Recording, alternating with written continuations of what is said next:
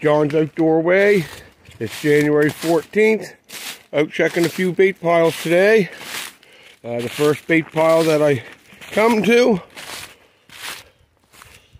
Here's a coyote. Not a real big one.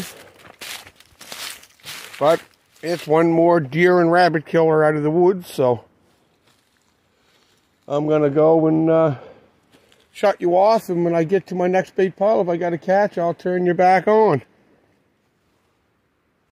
January January 14th, checking a log set. And as you can see, there I have another coyote. Anyways, I'll go check another spot. And if I get any catches, I'll turn you back on. Just here at a location where I had a couple blind sets. And I walked in and here I have another coyote. So far, that's the third one for today. Nice size one too, nice white belly. So yeah. So anyways, I'll get this out of the snare and I'm gonna I'll remake it and uh, I get to my next spot if I have a catch I'll turn you back on just came in here at another set location and here's another one. So far today this is number four. I only got a few places left to check but anyways it's going good so far. I'll turn you back on if I got any other catches. Just walked in at another set location and as I was walking in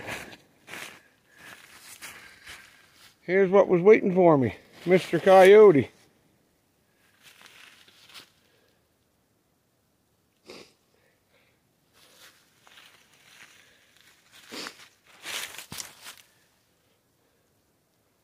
yeah anyhow I'll get this fellow taken care of and uh, if I have any more catches, I'll turn you back on. Just walked in here to another bait site. And here's another coyote. That makes number six for today. Then right over here from the coyote is a nice sized bobcat. My first one for the year. Today is going going pretty good today. So anyways, I got one more little bait pile to check. Uh, when I get there, if I have any catches, I'll turn you back on. Just thought I'd do a little video on my trap check for January 14th, 2023. I ended up today with one bobcat, uh, just a medium-sized one, and six coyotes. That's a lot of deer killers out of the woods. It's just too bad that the fur price has got to be so low. But hopefully next year that changes. Hopefully next year the the prices come up a bit and you know make this really worthwhile.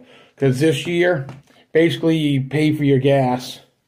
You know, I mean like today, I mean I went on my four wheeler, and my gas expense wasn't all that high, but but still, it all adds up.